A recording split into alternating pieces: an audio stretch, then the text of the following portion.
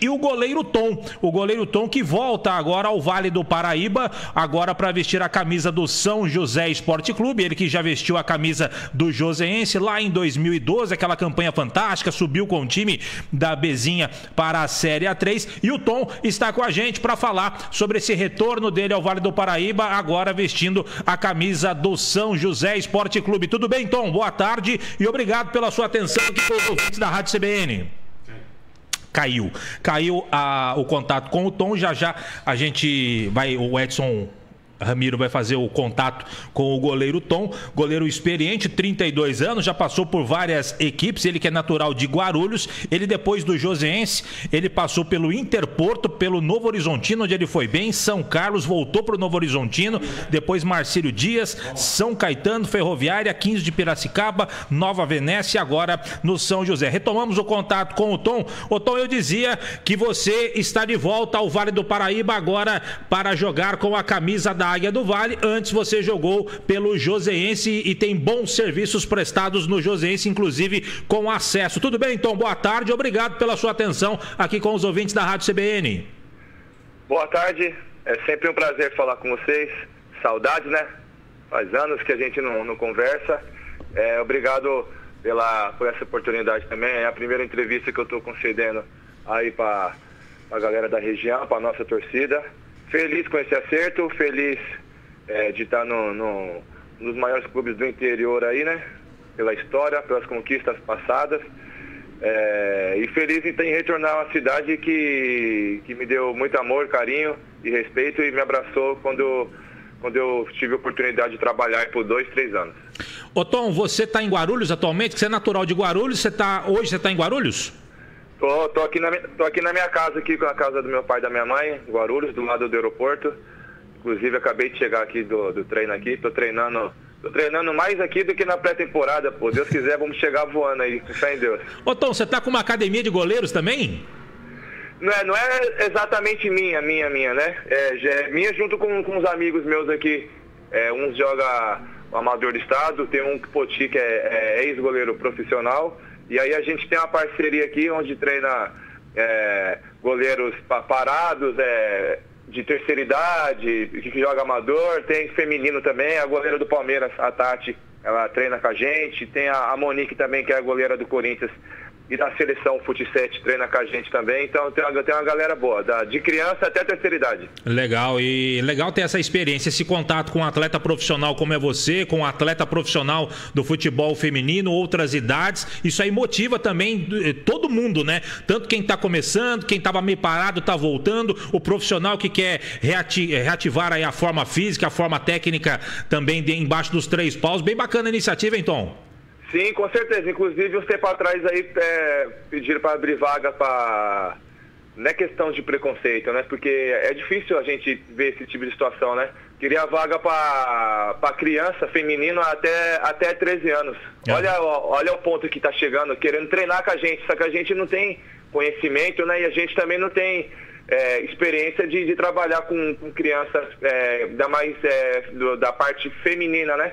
Por quê? Porque tem as goleiras tá, que, que, que, postam tudo e, e, são tudo famosinhas aí no Instagram, aí não sei quantos mil seguidores, aí elas acompanham e elas querem treinar, elas se espelham nelas né, na, na Tati e na, e na Monique. E a gente não, não tem como treinar elas, né? A gente até deixa assistir o treino, tudo, mas treinar, trabalhar, a gente não consegue. Legal, aí já é um, um nicho para vocês irem atrás, aí vocês e seus parceiros, procurar pessoas que trabalham especificamente com o futebol feminino e de repente com a, essa faixa etária, já contratem para a academia de goleiros, porque tem, tem nicho, tem, tem procura, né, Tom?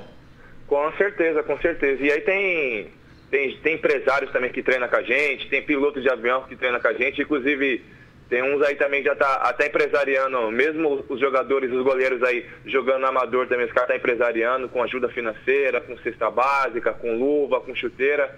Então, não deixa de ser uma, uma oportunidade também, né? Legal, muito bacana. Agora, Tom, me diga aí, como é que foi a negociação? O Robertinho te ligou, o Edson Vieira te ligou, como é que foi a negociação para você fechar com o São José? Olha, quando eu eu estava saindo lá do, do Espírito Santo, eu, é, tinha, eu tinha uma proposta de renovação de um ano de contrato lá, né? Uhum. Mas mesmo sendo sudeste lá, cara, é, é, um, é um estado que está meio, meio escondido ainda na, é, no, no cenário do, do futebol. futebol. Isso. E aí eu saí de lá, o Renato tinha, tinha mandado mensagem para mim na, uma semana antes de eu, de eu acertar minha saída lá. Falei, eu tô saindo daqui, mas é, não, tô te dando certeza de nada, porque também eu tenho, devido aos trabalhos que eu fiz aqui no estado de São Paulo, eu tenho um mercado aqui em São Paulo, mas vou manter contato. Aí cheguei, comecei a treinar na academia, treinar sozinho, correndo aqui na academia. É, uma semana depois, o, professor Edson mandou mensagem perguntando onde eu estava, que queria trabalhar comigo. Aí eu meio que falei, pô, tive uma conversa com o Renato Santiago, é só esperar acertar alguma coisa aí. Ele, não, então me leva, se o Robertinho estiver lá, você me leva porque eu só confio nele. Falei, não, beleza, então quem chegar primeiro eu levo outro. e foi o que aconteceu, acho que o professor acertou numa numa quarta, eu acho, na quinta-feira, alguma coisa assim. Eu acertei no dia seguinte, tinha acabado de correr, é quando eu vi ligação 012, né, que é o DDD aí do, do Vale da Paraíba. Uhum. Falei, ah, é alguém de lá, era o Chico.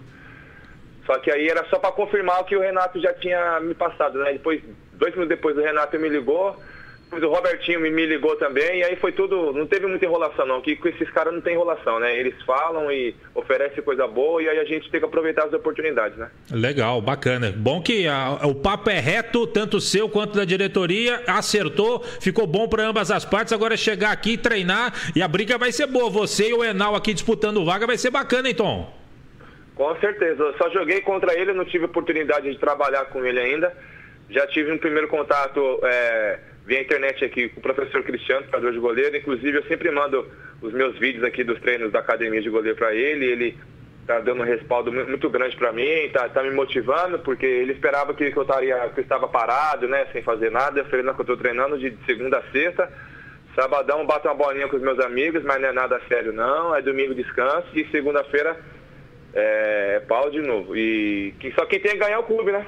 Sem dúvida. O Renal, o Enal, a gente tem alguns amigos é, é, em comum? comuns aí, já tive alguma, algumas conversas já e falaram super bem da pessoa dele. A gente bateu um papo com ele aqui também no dia que ele foi anunciado e o homem é bom de resenha. O homem é bom de resenha. Eu acho que vocês dois vão se dar muito bem. Aquela briga sadia pela titularidade e vão pro pau. Como você bem falou, quem ganha é o São José ter dois goleiros de alto nível. Agora, Otom, depois do Joseense, que pelo menos o torcedor daqui te conheceu bem e como eu falei na abertura, com bons serviços prestados. Depois do, do Joseense, você passou por alguns, alguns times com bastante destaque, por exemplo, o Grêmio Novo Horizontino e também a Ferroviária. Queria que você falasse um pouquinho depois que você saiu do Joseense, por onde que você passou e por onde ficou marcado por aí a, a atuação do Tom. Isso, o Joseense depois tinha virado São José dos Campos, né? Eu joguei 2014 a Série 3 aí, ficamos, batemos na trave no acesso. De lá fui jogar a Série D no, no Interporto de Tocantins. Aí voltei, eu assinei contrato com o São Carlos para jogar a Bezinha na época, na época podia jogador acima de 23 anos, né?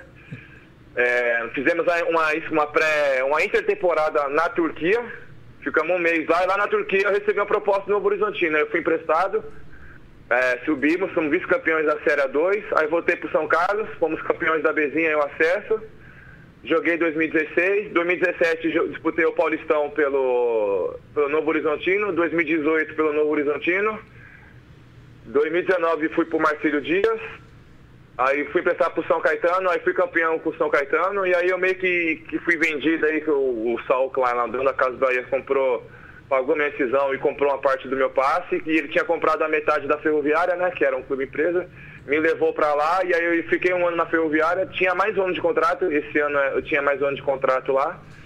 É, algumas coisas é, lá dentro, não digo nem particulares, que particular é só quando é comigo, né? Mas teve uma confusão lá de, de jogador que o Saul levou, no caso, fomos em, não de uma vez, né? Fomos em 12 ou 13 jogadores lá do São Caetano. É, foi cinco, depois mais seis, aí depois da, da, da, parada do Covid foi chegando mais jogadores e, e, não trataram a gente muito bem, e aí eu fui o último a sair de lá.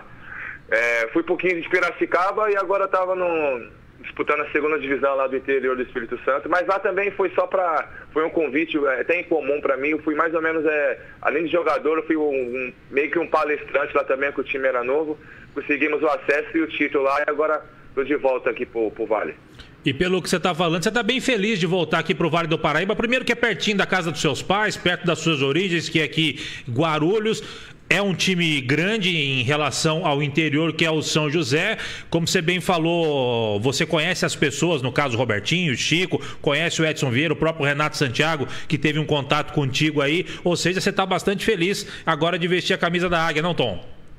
Com certeza, com certeza. A cidade, igual falei, me acolheu super bem. É pertinho aí da casa da minha mãezinha aí, minha mãe Nossa Senhora Aparecida, que é perto também. Então, literalmente, eu tô, eu tô em casa. Tô em casa. Agora você vai ter que aguentar. Em 2012 e 13 você me aguentou lá na beira do gramado, enchendo o saco, repórter do Joseense. Agora vai aguentar o Vieira, repórter do São José, te acompanhando nos jogos aqui também, Tom.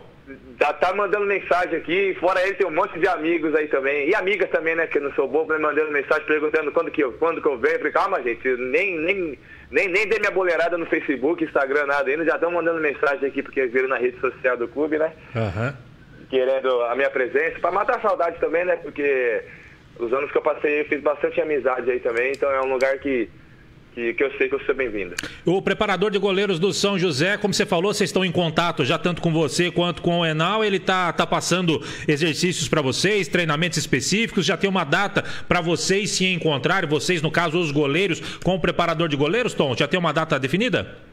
Não, não, ele, eu só mando o feedback que eu, que eu faço nos treinos. Ele não passou nenhum tipo de trabalho para mim ainda. É, também não, não faço ideia. Eu acho que é pro final do mês que vem que deve ser a apresentação. Nós devemos é, nos apresentar, acho que todos juntos, né? Já estou ansioso aí já. já queria antecipar isso aí para no começo do mês aí, porque quanto mais a gente. Aquele ditado lá, né? Quanto mais você treina, mais sorte, né? Entre aspas, você tem, né? Então, quanto mais a gente treinar, quanto mais rápido a gente treinar, melhor para nós. Perfeito. Ô, Tom, pra, até para ilustrar um pouquinho, quais são as características do Tom jogando pelos clubes onde passou? Se amadureceu bastante depois do Joseense, onde nós tivemos aquele contato mais próximo aqui. Quais são as características do Tom dentro de campo, embaixo dos três paus? Ah, agora é um tom, volta um tom agora mais experiente, né? Com com algumas é, currículo um pouco melhor agora. Continuo mesmo doido, continuo, continuo orientando, se não ouvir, continuo xingando. Se também lá dentro também lá, se precisar sair na mão, a gente sai, mas o importante é, é sempre os três pontos. Né? É claro que discussão, briga-briga, isso é normal dentro do futebol, dentro das quatro, dentro das quatro linhas. Vestiário também faz, faz parte. É, um treinador que vai ser o nosso, talvez o nosso diferencial pelas conquistas, pelo ter aquele histórico, tem tudo para dar certo. E é um goleiro de sempre. Quando é para brincar, é um moleque, igual eu costumo me falar que, pô, só tem tamanho, isso é um moleque, né? A gente tem que aproveitar a vida como se fosse o último dia, né? Porque literalmente a gente não sabe o dia de amanhã o que vai acontecer, né? Então, me entrego como pessoa, como profissional. Às vezes eu dou o meu melhor, mas às vezes não é tudo. Mas o importante é que eu consigo é, botar minha cabeça no travesseiro e dormir com a minha consciência tranquila. Isso aí acho que não tem preço para ninguém, né? Com certeza. Você já trabalhou com o Edson Vieira alguma vez, não? Não, só contra só. Só contra. Então você sabe, você sabe que o homem é fera, né? Com certeza. A gente até contra, a gente já virava amigo, imagina trabalhando junto agora. Ah, não, legal, vai ser uma grande família. E em cima disso, pelo que você falou também, vestiário ganha jogo, Tom? Com certeza, com certeza. É o pré-jogo, né? Ganha jogo sim. Vestiário bom, é, é, é, certeza de, de, de, jogo bom. Você é bom de resenha, o Enal é bom de resenha, o Edson Vieira é bom de resenha, ou seja, o vestiário já está garantido. Ah, imagina o churrasco depois, então, como vai estar. Tá. Chama nós, pô. Ô Tom, bom falar com você, sucesso aqui na Águia do Vale. A gente torce por você, fiquei contente quando eu soube da, do, da confirmação do seu nome e a gente torce pelo seu sucesso agora vestindo a camisa da Águia, que com o acesso. Você já tem alguns no currículo, mais um, vai ficar bom demais, hein, Tom? Com certeza. Acesso não, título, né? Opa! Ficar com chave de ouro para não ter escapatória mesmo. Acesso e título, com bom. Com troféu de campeão é tudo melhor, né? Com certeza. E obrigado mais uma vez aí pela oportunidade. É sempre um prazer falar com vocês. Valeu, Tom. Um abraço, obrigado. Tamo junto, fica com Deus. Amém, abraço. Conversamos com o goleiro Tom, novo contratado da equipe do São José, Enal e Tom. Começou muito bem o São José com essas contratações no gol da Águia. Acho que a diretoria acertou muito, assim como acertou com o Josiel e também com o Léo Aquino. E vem mais coisa boa por aí, se tudo.